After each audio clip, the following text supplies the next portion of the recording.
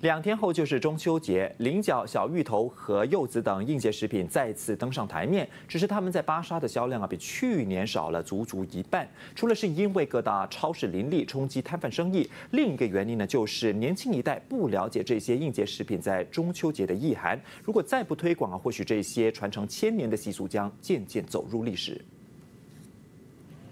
后天就是八月十五中秋节了，大街小巷到处都有各式各样的月饼、猪仔饼、月光饼等等。除了月饼和灯笼，还有菱角、小芋头和柚子，也是这个团圆佳节不可缺的食品。华人世世代代都在遵循这个传统习俗。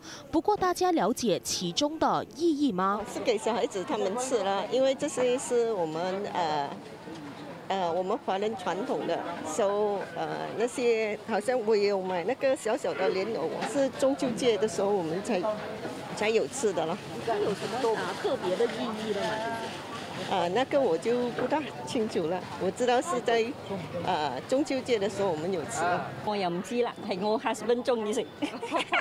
係咪？我老公中意食，佢中意食，我又買俾佢食啫。有冇覺得係誒呢次嘅呢好意頭啦？我哋同人你知噶啦。别说民众，就连售卖这些应节食品的小贩，大部分也不知道菱角、小芋头和柚子代表什么。其实中秋节要以菱角、小芋头还有柚子来祭祀神明和祖先呢，是因为菱角代表聪明伶俐，而小芋头是为了辟邪消灾，那柚子呢就是有保佑的意思。不过基于这个大环境的因素呢，这三样应节食品的这个销量啊都有所下滑。半山巴巴沙的小贩们透露，这三样食品的销量十多年来都在下滑，但是对比去年，今年的销量又少了一半。现在很差了了，卖几箩而已啦，两三箩而已啊。从前我们卖啊，卖整两箩里啊，从前现在不可以了了。以前啊，至少一个节日里面，比如说中秋节啊，可以卖个十箱。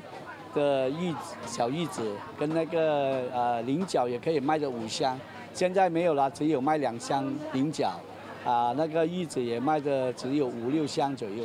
其实这些食品的售价没有太大差别，菱角维持在每公斤十二到十五令吉，小芋头每公斤十令吉，柚子则是每公斤九到十二令吉。不过谁不喜欢更便宜呢？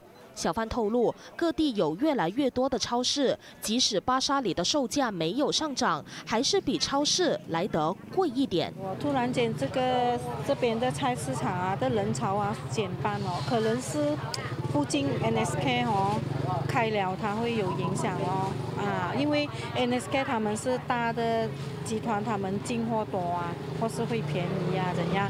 而且，但是我们卖的是。比较好的果，价格来是贵，但是我们的果是可以吃嘛，啊，一些人是看价格就没有办法了了，哦，很多人是啊买要便宜呀。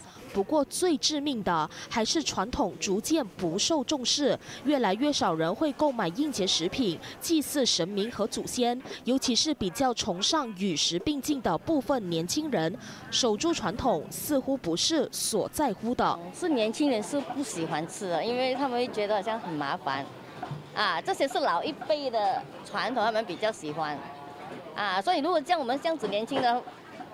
不安这些好像没有说你叫我们讲 BBQ 啊，或者什么，一定会你们好像你们你这样子也是喜欢的嘛，对不对？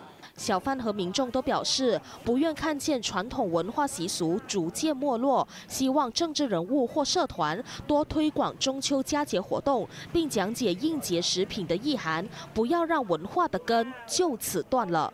八度空间林晓彤、吉隆坡报道。